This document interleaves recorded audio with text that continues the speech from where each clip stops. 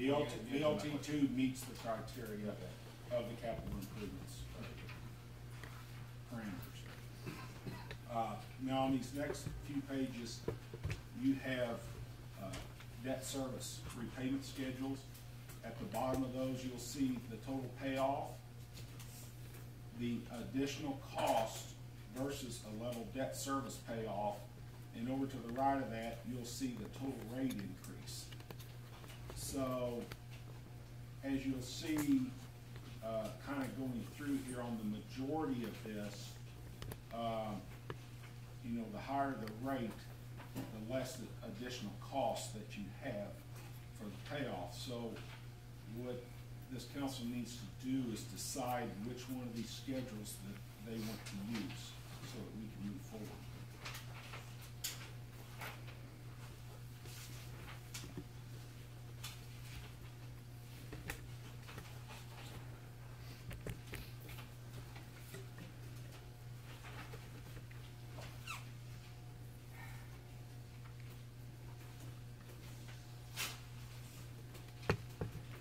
The, the other piece of that, to understand is that right column, it has to do with how flat the rate increase will, you know, how that will hit, um, our users.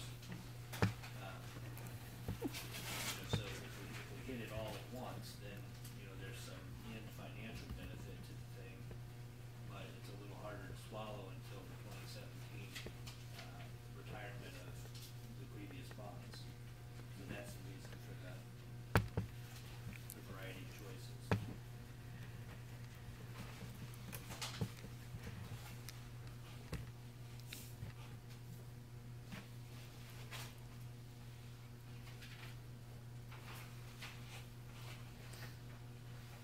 And so the last one, basically, we're, for three years, we're paying interest only Correct. to, to alleviate the cost. Right. But it's gonna cost us overall more in the long run than the level debt service.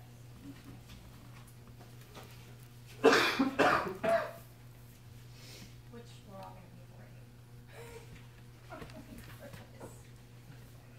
It's a matter of what you think the impact of, of the higher rate while we're still waiting to expire those previous bonds. How, how, how much impact do you think that has on our consumers and what's the value attached to offsetting that? Because that's what we're buying, that extra money is Right. lower water bill.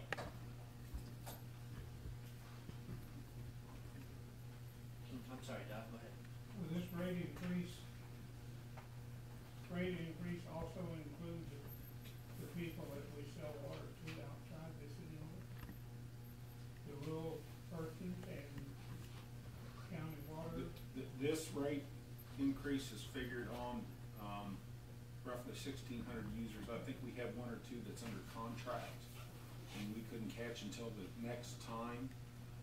But it was, it's figured on sixteen hundred, so it was figured on all, The short answer is no. The citizens, the citizens of Louisiana will be paying the bulk of it? Correct. Correct. Now, that is, that, that, the rate increases that are, that are placed here, um, are not the end all of the discussion for rate changes. We're supposed to address rate changes for water every February.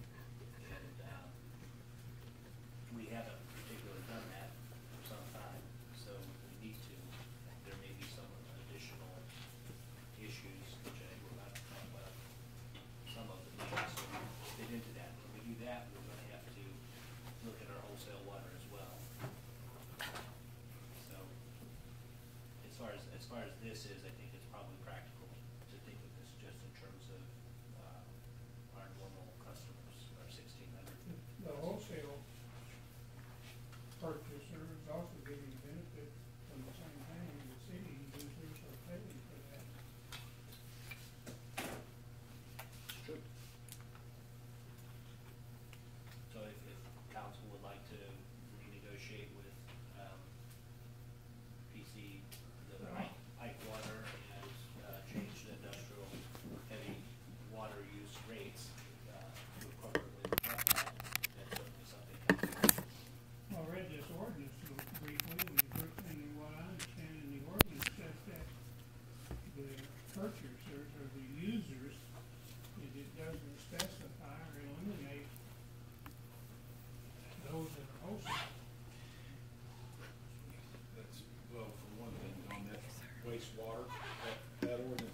separate sheet of paper is a different study. That's on This is strictly wastewater. wastewater? Yes, sir.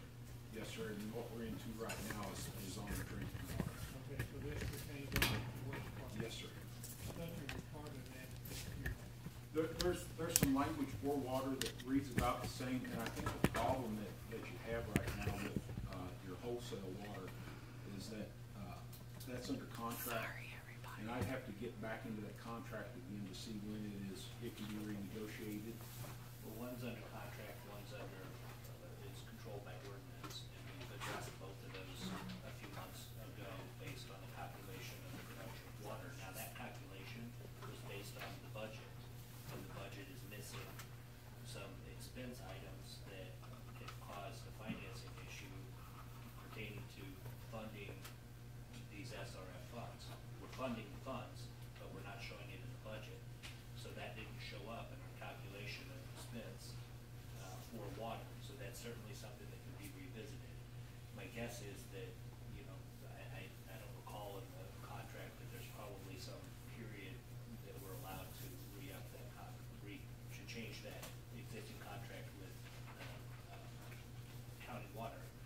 Um, And we can look at that, and we can include that in, in what we want to do to pay for the enterprise operations. If, at the end of the day, the, the rates that we're charging need to cover the expenses of producing our product for enterprise.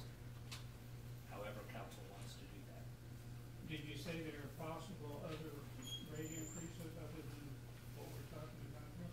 I, I foresee that we're gonna have to do something, uh, or it's very likely that we're gonna have to do something. That's the second part of our conversation. Can we bring those into the first part of the conversation so that we can understand that without get a Certainly. better figure of the total? Sure. Because we do a little bit here and a little bit there, it doesn't seem like too much, but when you add the two together, it's quite an impact maybe. Sure, I think that's very reasonable. Um, so you wanna tackle this report? Okay, sounds like we're gonna move to this report. Yes.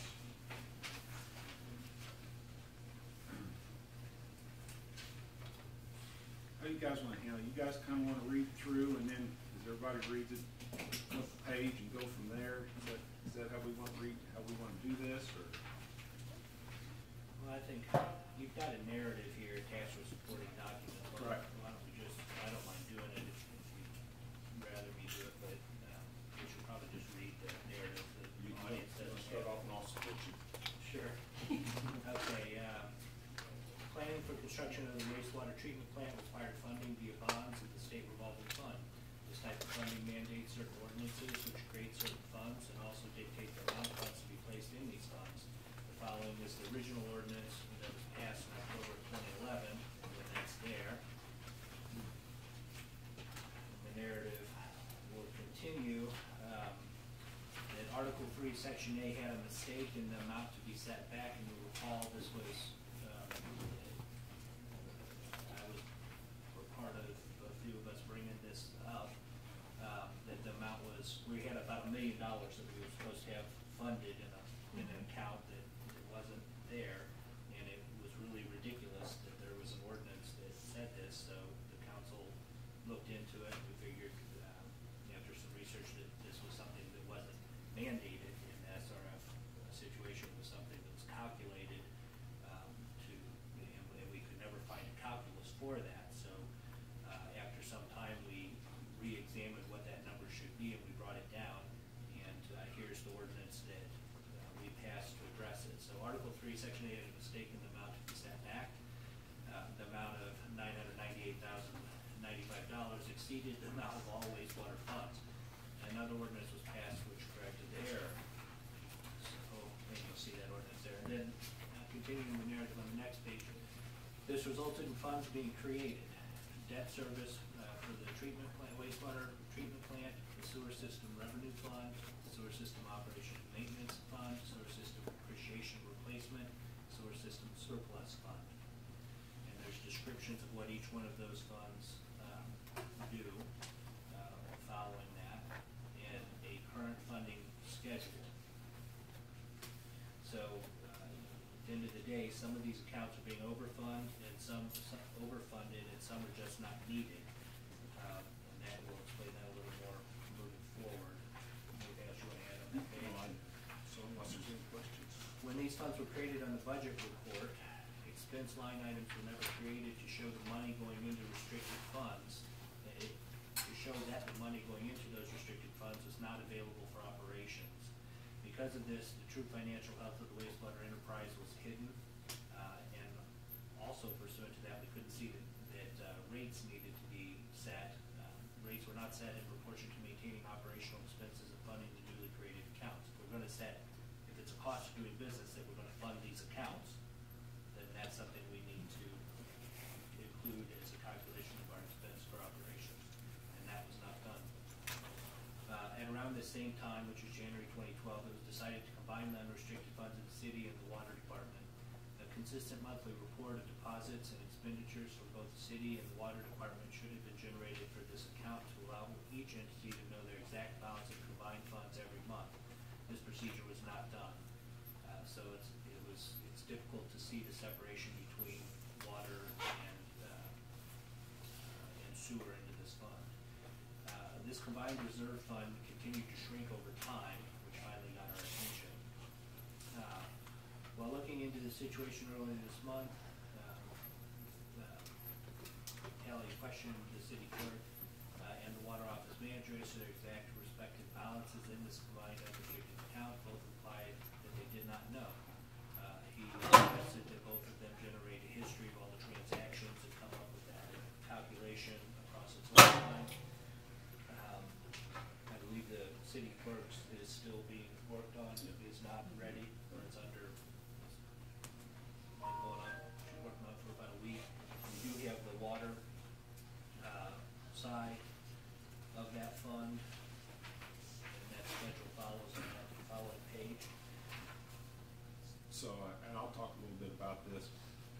see in January of 12, the unrestricted uh, balance that the water department deposited into that combined fund was $115,970.65.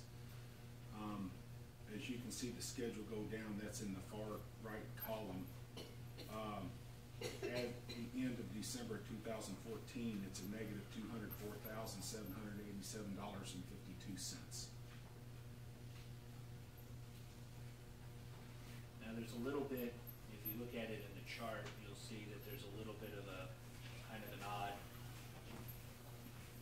blurb in its way that it moves down, but, uh, there's a statement there that at the beginning of the pro- uh, process, we were putting much more of the total, uh, sewer sales into that debt service account. Um, and we changed that over time, so that's, that's why that's not just a flat curve. Uh, there was a change in how much was going into that account. Uh, so, that gives our, uh, comparison, uh, that's on that following page. Uh, the budget report, the water portion of the unrestricted balance fund. And what, what we're trying to do, you see the bottom, on the far right-hand side, you have these bottom two numbers. And what you guys were seeing on the reports was that you were good, to the good during that time period of six hundred and seventy-two thousand, thirty-eight dollars and ten cents. Um, and what, actually, um, it, it was a loss in your operations fund of three hundred and twenty thousand, seven hundred and fifty-eight dollars and seventeen cents. So you would have seen that difference in, in the total of funds in the summary sheet.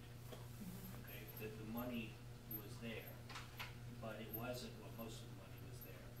Um, but it wasn't, it wasn't being accounted for as an expense in the budget, so decisions that were, we were making based on the health of the enterprise operations were inaccurate. Because we were making those off largely off the budget document itself. So the next page has some recommendations. Um, and I think in, in short, we're recommending some immediate action, uh, that will alleviate some of the, uh, burden. Uh, and then we want to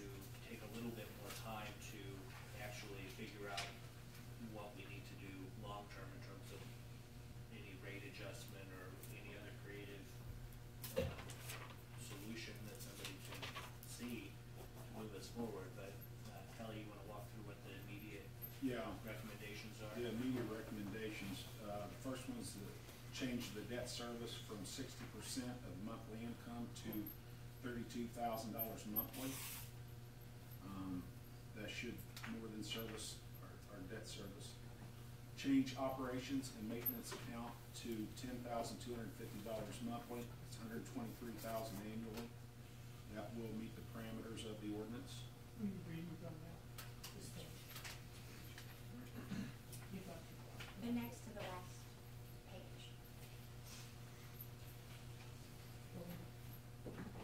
No, go on. Okay.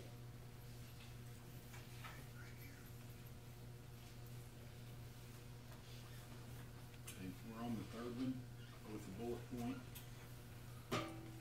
Uh, Council vote to separate unrestricted general fund to allow water office to perform clerk duties for all financial matters involving water, wastewater, solid waste collection, and other it should be matters normally associated with that section of the city. Delete the sewer surplus fund and move that money to water unrestricted fund. The sewer system operation maintenance fund needs to move the funds to the water unrestricted fund, leaving three hundred dollars to serve as a base. In other words, that O and M fund can, can come right back, but the ordinance does call for that O and M fund to be created. So we're holding money in there, and, and we really don't need to be holding money in at the end of the year. We just need to make sure that our one twelfth of the expenses was met as the ordinance calls for. And if it hasn't, then, then we have to hold some money in, and if it exceeded it, then we're fine. So, but that will, if you look down the chart, your, your left hand is kind of what we're doing now. On the right-hand side is after these changes. And, uh, my figures in the, in the past, or for fourteen, is it was operating about a thirty-one thousand dollar a month deficit.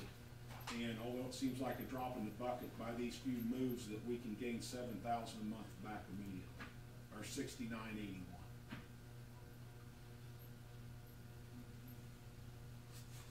So, one of the things I'm looking for here, and maybe we can handle it right, right now or discuss it further. um, But I'm looking for a vote, and I think we could probably handle it, handle it all at once, unless you wanna break it up for some reason. But, uh, I would be looking for a vote to support the immediate, uh, actions as recommended in this report, which are those bullet points, those five, uh, bullet points that are listed there.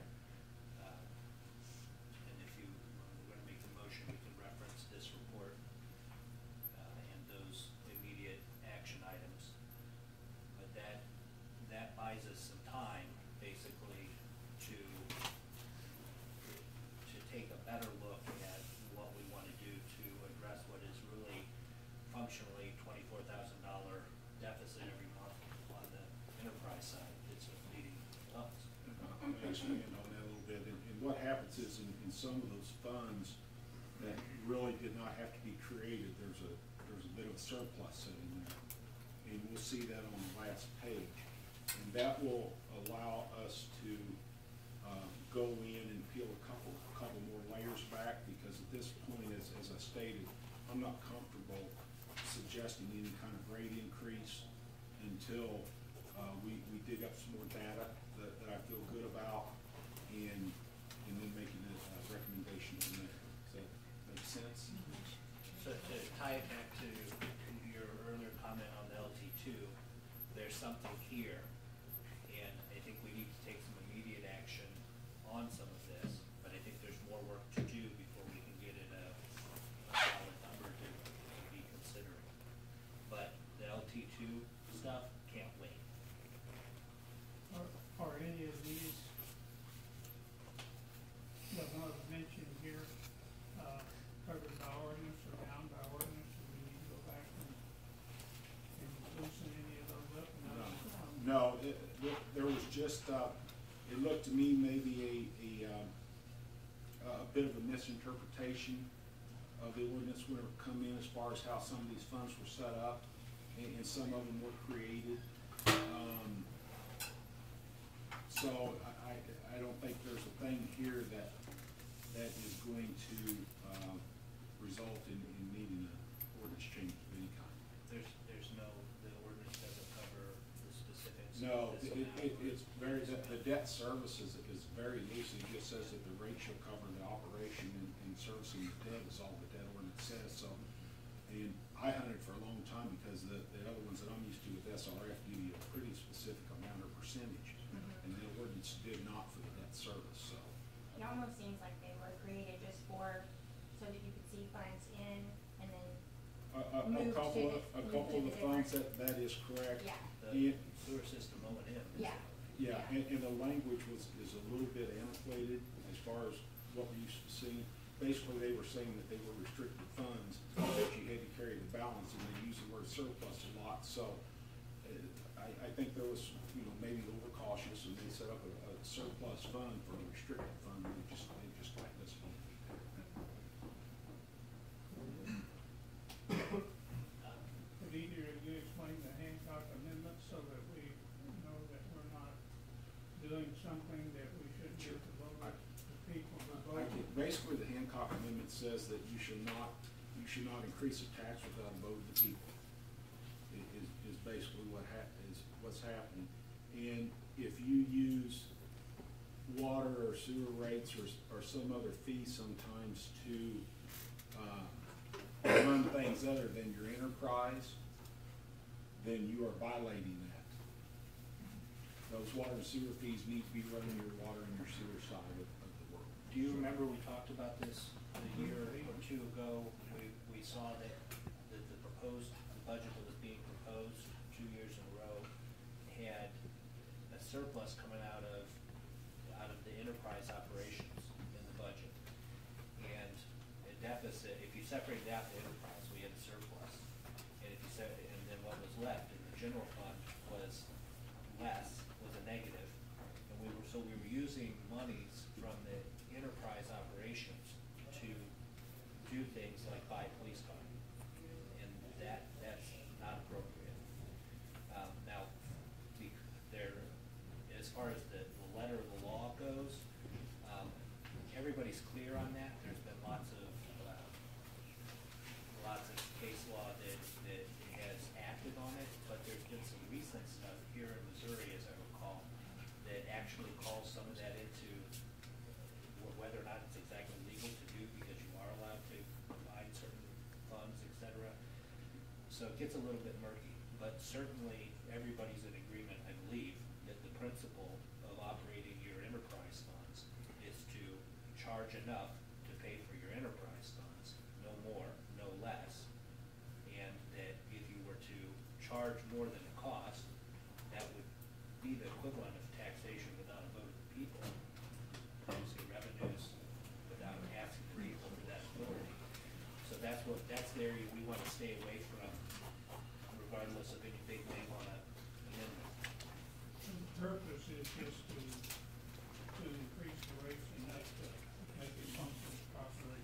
Yeah, we'll bring our costs down, increase, uh, our efficiency, whatever can be done to, to do that, but at the end of the day, we need to be charging what it costs to, well, actually, we don't, because there is no, there is no problem with the general funneling money into, uh, the enterprise. There's nothing illegal about that. That's, that's just the city's buying services, supplementing the services to the people that, that you're serving with your enterprise. There's nothing illegal about that. And in effect, in effect, that's what we've been doing. Right? We, so, so we could continue to do that. The Problem is, we don't have the revenues to continue to do that. So we, you know, if we, if we want the enterprise fund to pay for the enterprise operations, we're we're gonna have to change something on the enterprise side, either the rate or something with expenses or efficiency. Well, if you, if you in fact do raise water rates, uh, is that gonna be tied into wastewater like it is now? Are you gonna raise the wastewater side or just the, the water? One of the things we don't know is how much of this is which one. How, much of this twenty-four thousand per month in that account seems to, seems to be which one, right? The, right, of the twenty-four thousand that's left as a, as a deficit that we're showing, uh, we're not real sure. I mean, I, I do have a, a separate report that I haven't shown yet, but I, I guess that they changed the water rate for one of the larger users, uh, in town a few years back, and it looks to me like that, uh, that cost, uh, the water department about, about thirty-five to thirty-six hundred a month in in revenue. So if, if that was there, we'd be down around the, you know, around the twenty, twenty thousand, twenty thousand